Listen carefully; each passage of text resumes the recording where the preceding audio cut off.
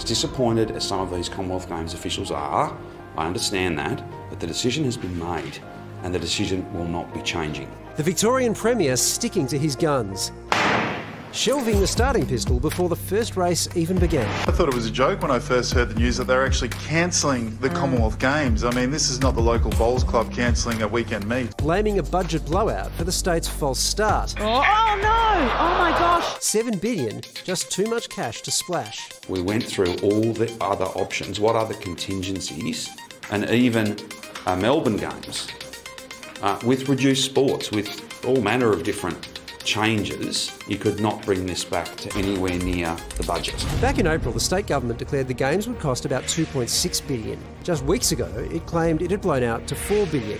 Yesterday, the forecast was inflated to between 6 and 7 billion. Who did the financial modelling around this? I expect there would be some cost increase, but uh, to blow out to that potential 5, 6 or even 7 billion dollars. Pick the ball back up, mate, and try and find a solution before you just throw it all out. With accusations of exaggerations. Stated cost overruns, in our opinion, are a gross exaggeration and not reflective of the operational costs presented to the Victorian 2026 Organising Committee Board as recently as June this year. Prompting calls for the Premier to explain how the figures got so fudged on dismount.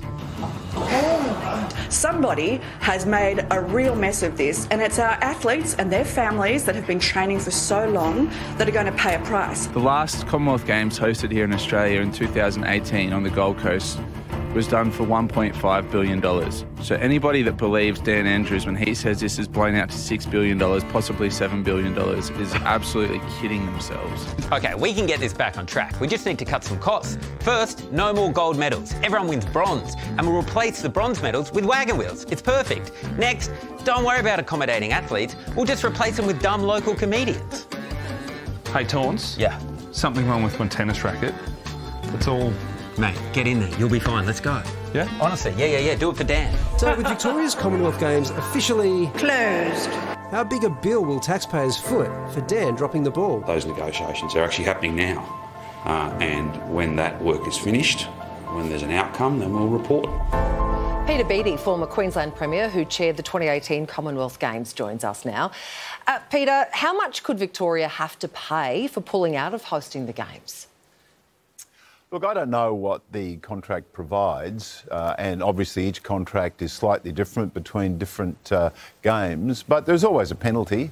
Uh, if I recall correctly, I think the penalty in the Queensland contract was around, this is the Gold Coast 2018, was around about a billion dollars, but it will vary from contract to contract, and only Dan Andrews can tell you that.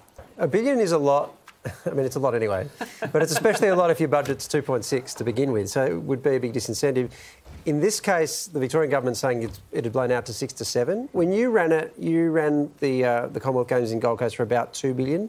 Can you imagine how six to seven billion could have happened? It's always more expensive, Waleed, to run an event in the regions. Our budget was actually 1.2. I was trying to remember what it was, and I mistakenly said two. I, now I've double checked. It's actually 1.2. We ran it uh, at uh, we ran it within the budget. In fact, we returned $100 million to the Queensland taxpayer because the government was pretty tough on us to make sure we stuck within the budget, which we did. So ours was 1.2. Uh, obviously, you've got that was five years ago, so you've got to add inflation. There's a whole lot of spiralling costs in business that have taken place in construction since then. I don't know, obviously, the details of Victoria. I do know, as I was saying, once you run an event like this in the regions, it costs a lot more. Running the event on the Gold Coast costs a lot more than running it in Brisbane or Melbourne or Sydney. And the reason for that is very simple and it's obvious. They don't have the stadia, they don't have the infrastructure, they don't have the transport corridors, the list goes on.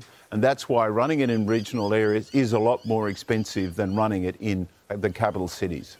Peter, uh, no state wants it. Is this an Australia problem now? Should another state have to step step in and save it? Well, the reality is every state's ruled it out. Now, I'm a strong supporter of the Commonwealth Games because it is an opportunity for para sports to have inclusiveness that doesn't exist at the Olympics. As you know, there's the Olympics and the Paralympics. At the Commonwealth Games, you have events. You have an event, then you have a, a, a para sport event, then another event, and another para sport event. It's inclusive. And to me, you know, maybe I'm a bit strange and people would tell you that anyway, but I think that's important. So we treat everyone in an inclusive way. That doesn't happen in other major sporting events. So I'd like to see it survive. However, every state's ruled it out. And bluntly, I see there's a suggestion that Christchurch may, may pick it up. Well, you know, Christmas may come early too. I don't think that's going to happen. I think the likelihood is it'll have to go back to Birmingham where it was last time. Before the Gold Coast, it was successful in, in, in Glasgow. London had the Olympics. They're the only possibilities. Canada's never really been that interested. South Africa was allocated it or awarded it in Durban a few years ago, but they, were, they weren't prepared to sign off on some of the conditions, so that fell over.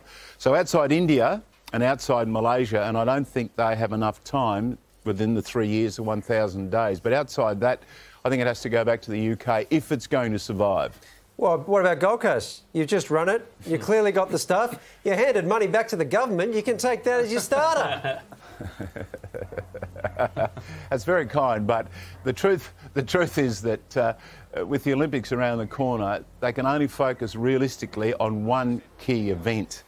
Now, Peter, with a massive cancellation like this, the buck has to stop somewhere. Should heads roll over this? Look, there'll always be uh, justifications. There'll always be someone has to take responsibility for this, as there is whenever a major decision like this is made. But at the end of the day, that's not a matter for me. I have a view on it, but it's not a matter for me. What is your view? Oh, no. uh, well, Ed, I'm not going to share that with you. I, I'm trying to be diplomatic in my old age. It's a new, it's a new feeling for me. I'm really struggling with it, and you're not helping. Mate, if you want to be diplomatic, don't say I have a view on it. All right, I retract that. I don't have a view anymore. Sorry, this isn't Parliament. You can't retract it, mate. right, Mr. Speaker, I retract that and I apologise. Okay. Oh, Peter, well, thanks so much for joining us tonight. Appreciate it. No, that's a pleasure. All the best, guys. Well, Nick Cody is here, Sans sweatband. Mm-hmm. Where is it, mate? Yeah, it's gone. It didn't fit. It actually just broke. What, what do you make of this? Well, it's a billion dollars spent on this, cancelling that. There was an East-West Link tunnel, a billion dollars for no road. That's two billion dollars for nothing. I don't want to tell people how to do that. But we could have just bought Bitcoin. You know, just have a have a crack next time, Victoria. I think you're saying if we. I vote Labor, by the way. I just I'm in Steve Price's seat, and I just feel some like weird, some It's energy coming coming out of it.